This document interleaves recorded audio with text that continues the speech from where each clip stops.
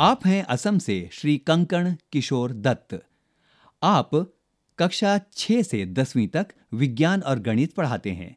आपने अपने राज्य के लिए गणित और विज्ञान में कुल पचासी ई सामग्री का निर्माण किया, जो दीक्षा पोर्टल में उपलब्ध है।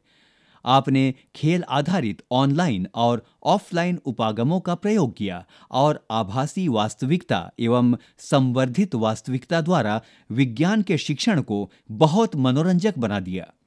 विज्ञान के शिक्षण को रोचक बनाने के लिए आपने एक मोबाइल ऐप भी बनाया है। इस हेतु आपको आईसीटी पुरस्कार से सम्मानित किया जाता है।